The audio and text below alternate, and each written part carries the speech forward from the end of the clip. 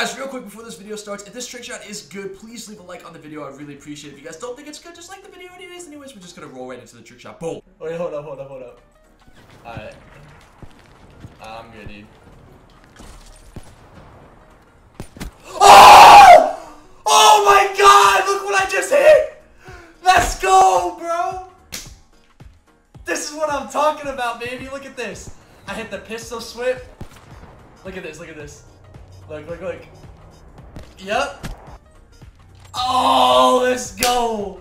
Oh. So we got the FFAR FaZe camo on the new map Outlaw. I don't think Call of Duty gets any better than this, guys. So I am like lagging or something. I feel like I have some sort of a frame rate right, right now.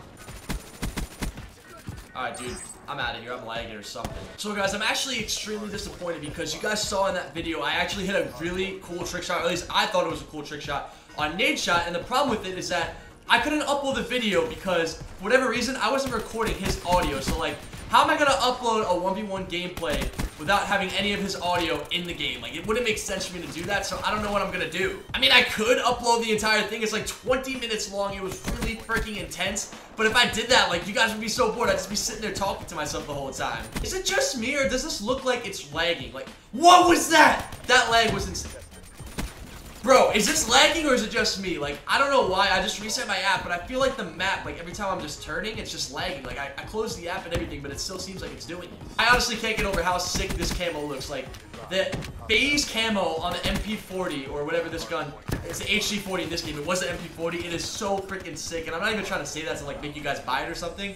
I just freaking like this thing. Like, it looks sick, and I'm still skipping everywhere. I want to tell you guys a story. The other day, I had a dream, and I was dreaming about actually, like, my real life. Like, it's weird. I get all these dreams all the time. And so in this dream, I was, uh... I, I was trying to hit up Nadeshot, so so if you guys don't know, what happened was after I didn't upload the video, like I was supposed to upload the 1v1 two days ago with Nadeshot, after I didn't upload it, uh, I hit up Nadeshot and I said, yo, my audio's messed up on my file, is there a way we could just like redo the 1v1 or something? He's like, yeah bro, that seems like a problem, don't worry about it, I got you man, I'm gonna go get some food, I'm running down the street and I'll hit you with the text when I get back.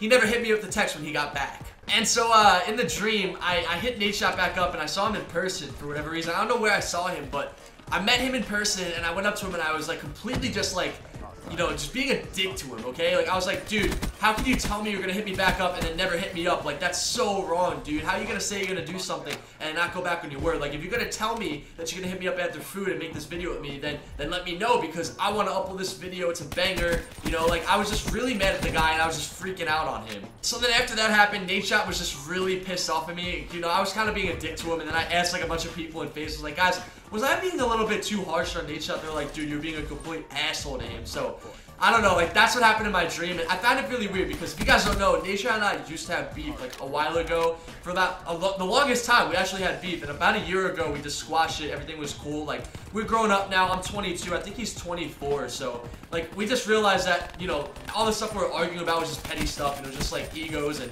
just dumb things back in the day when we were, like, 17, 18 years old, so now we're cool, so it just felt so weird, because when I woke up after this dream, it really felt like I had beef with him. And then I looked at my text messages and I realized I just never texted him back. He said, okay, I'll hit you up after I get home. And then I said, okay, thanks. And that was it. So, like, we're cool. Everything's good. But it just felt so weird because for the longest time, we just weren't on the same terms. Like, we didn't really like each other. And, and then when I woke up, it just felt like that happened all over again. And then I realized we're cool. And it, it just felt really weird to me. But I did talk to him, and we're probably going to be doing another 1v1. We actually had, like, a best of three scheduled, and he beat me in the first one. I beat him in the second one. That's where I hit the trick shot. And we wanted to make, like, a third 1v1 to, like, settle it all. And I'm going to Las Vegas soon, so I think I'll just upload that when I'm away in Vegas. I'm actually going to be at the Olympia in Las Vegas, so if you guys want to do, like, some sort of a meetup, maybe I'll do it, like, at the Olympia. I can give you guys more details, but if you guys know the area, if you know the event, it's, like, one of the biggest bodybuilding events ever. Like, I am pretty sure that's what it is. The Olympia is a huge event, and it's going to be in Las Vegas. G Fuel's actually actually sending me there. I'm going to be running a really big G Fuel code with them too, so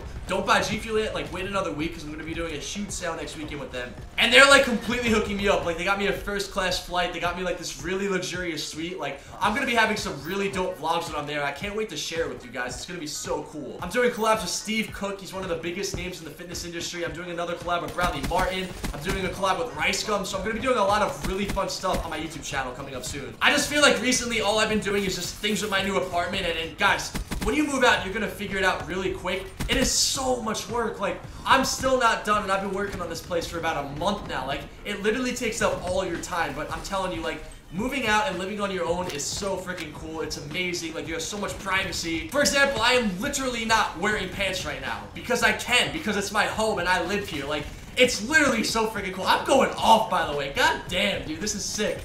And we got the HG40 with the FaZe camo. Oh my god, this game is so much fun, dude. I wish I could still be playing this game competitively. I wish I was able to go to Champs and, and at least compete and play. But you know what? My boy Apathy won it.